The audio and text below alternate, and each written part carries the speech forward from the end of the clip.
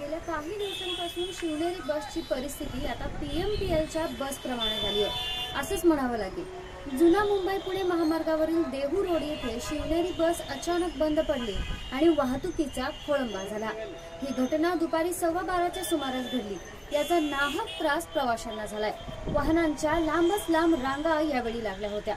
मिळालेल्या माहितीनुसार पुण्याच्या स्वारगेट येथून पुणे दादर शिवनेरी बस सेवा दर अर्ध्या तासाला असते.